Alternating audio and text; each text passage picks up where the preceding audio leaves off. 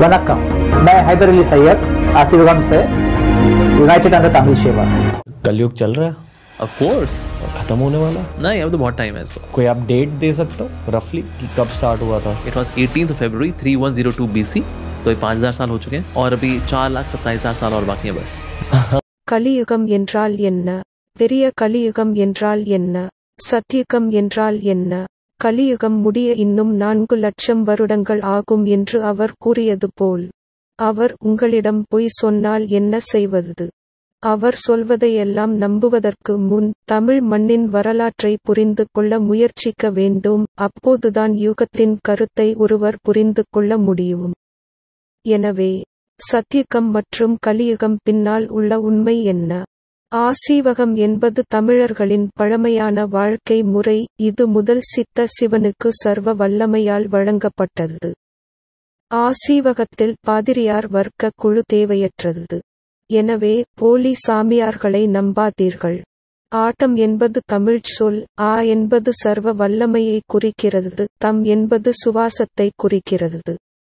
ஆதம் என்றால் சர்வ வல்லமையுள்ள சுவாசம் என்று பொருள். பைபிள் மற்றும் குரான் படித்தவர்கள் கேபல் ஏபல் மற்றும் சேத் பற்றி அறிந்திருக்கிறார்கள். கேபல் ஆபேலை கொன்றார். எனவே கேபல் மனிதகுலத்தில் முதல் கொலையை நிறுவினார். ஒரு தண்டனையாக அவர் சபிக்கப்பட்டார் மற்றும் நாகரிகத்தின் புற்றிலில் இருந்து வெளியேற்றப்பட்டார். கேபல் ஆதாமின் குழந்தைகளில் முதல் ஆன்மீக விரோத மனிதர். ஆதாமின் மூன்றாவது மகன் சேத் முதல் சித்தராக நியமிக்கப்பட்டார். சர்வ வல்லமை படைத்தவர் அனைத்து பாடங்கள் பற்றிய அனைத்து தகவல்களையும் எழுத்து வடிவில் கற்பித்தார். ஆட்டம் காலனியின் முதல் நிர்வாகியாகவும் சேத் நியமிக்கப்பட்டார். ஆட்டம் காலனி அவரது பல குழந்தைகளை கொண்டது. ஒவ்வொருவரும் வெவ்வேறு துறை வேலைகளில் ஈடுபட்டுள்ளனர். சிவா பைபிளின் சேத் சிவா பாண்டியன் குமரி கண்டத்தில் முதல் தமிழ் சங்கத்தை நிறுவினார்.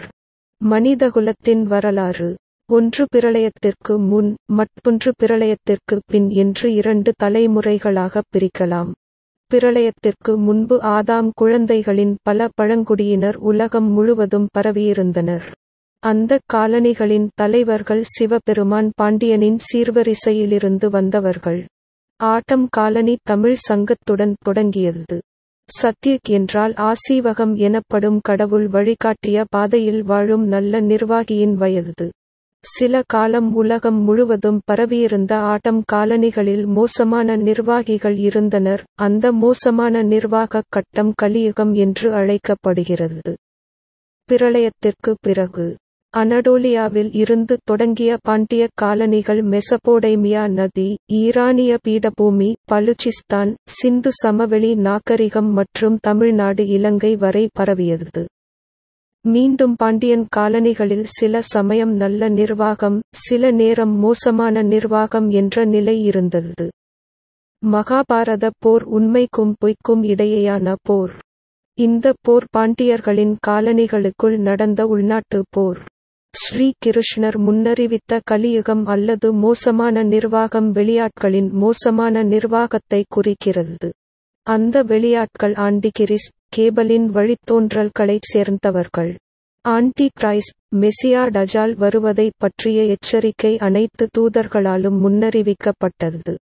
காயின் முதல் ஆன்மீக எதிர்ப்பு மனிதன். ஆண்டிகிரிஸ் மெசியா தஜ்ஜால் வருவது என்பது பாண்டியன் காலனிகளின் நிலத்தில் கேபலின் குழந்தைகள் வருவதை குறிக்கிறது. குரான் அத்தியாயம் பதினொன்றாவது வசனம் நாற்பத்தெட்டு வலிமிகுந்த வேதனையை பற்றிய ஸ்ரீ கிருஷ்ணர் தீர்க்கதரிசனத்தை நினைவூட்டுகிறது. பைபிள் டேனியல் அத்தியாயம் ஏழு. காபல் வம்சாவளியைச் சேர்ந்த காகசியன் குடியேறியவர்களால் உருவாக்கப்பட்ட நான்கு ஆண்டிகிரிஸ்களின் ஆட்சியை பற்றி பேசுகிறது. அந்த ஆட்சி பாண்டிய காலனிகளை ஆசிவ எதிர்ப்பு கொள்கைகளுடன் நீண்ட காலம் ஆட்சி செய்யும். கல்கியின் வருகையுடன் கேபால் பிள்ளைகளின் பொல்லாத ஆட்சி முடிவுக்கு வரும். கல்கி பாண்டிய மரபைச் சேர்ந்தவர். தோராயமாக கிமு ஆயிரத்து ஐநூறு இல் காகசியன் குடியேறியவர்களிடமிருந்து ஒரு குழு உருவானது. அவர்கள் மிட்ராயிசம் என்று அழைக்கப்படும் ஒரு ரகசிய சமூகத்தை ஆரம்பித்தனர். பனியா வியாபாரிகள் மற்றும் பிராமணர்கள் எனப்படும் பாதிரியார் வர்க்க குழுவை கொண்ட பாரசீக யூத சிண்டிகேட்டின் பிறப்பு. இந்த யூத சிண்டிகேட் நிலத்தின் நிர்வாகியை கட்டுப்படுத்துகிறது. டேனியல் அத்தியாயம் ஏழு இல் குறிப்பிடப்பட்டுள்ள முதல் இரண்டு மிருகத்தனமான ஆட்சி பாரசீக பேரரசு மற்றும் பைசண்டைன் பேரரசு ஆகும். குரான் பூர்வீக மக்களை ஒன்றிணைத்தது. மற்றும் பூர்வீக மக்களிடையே இந்த ஒற்றுமையின் விளைவாக முதல் இரண்டு மிருகத்தனமான ஆட்சிகள் அதிகாரத்தில் இருந்து அகற்றப்பட்டன. இது முகம்மது நபியின் காலத்தில் நடந்தது. கிபி ஆயிரத்து இருநூற்று இருபதில் மங்கோலியாவின் Genghis Khan Samarkand Bukhara Iran Iraq ஆகிய பகுதிகளுக்குள் நுழைந்து காகசியன் குடியேறிகளை இனப்படுகொலை செய்தார். இந்த நிகழ்வு பெர்சியாவின் முதுகெலும்பை உடைத்து மித்ராயிசத்தின் கொள்கைகளின் அடிப்படையில் ஒரு புதிய உலக ஒழுங்கை நிறுவுவதற்கான அவர்களின் கனவை முடிவுக்கு கொண்டு வந்தது. ஆயிரத்து இருநூற்று தொன்னூற்றொன்பதாம் ஆண்டு காகசியன் குடியேற்றவாசிகள் ஒட்டோமான் பேரரசின் மூன்றாவது மிருகத்தின் கீழ் ஒன்றுபட்டனர்.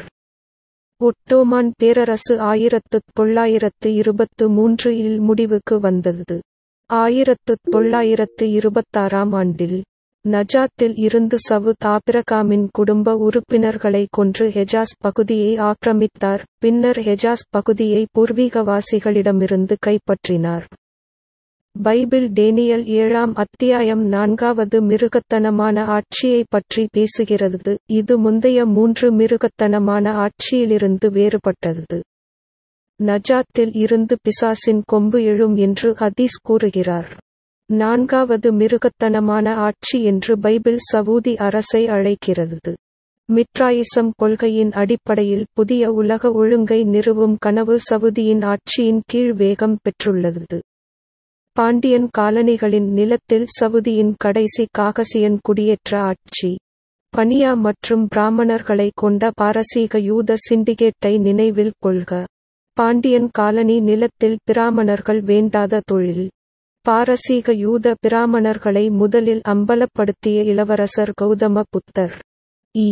வே. ரா. பெரியார் காகசியன் குடியேறிகளை சமீபத்தில் அம்பலப்படுத்திய பணியா பிராமண. காகசியன் குடியேற்ற பேரரசால் வெவ்வேறு காலகட்டத்தில் அறிமுகப்படுத்தப்பட்ட அனைத்து பாதிரியார் வகுப்பு மத அமைப்புகளையும் இந்தியா முடிவுக்கு கொண்டுவரும் நாள்.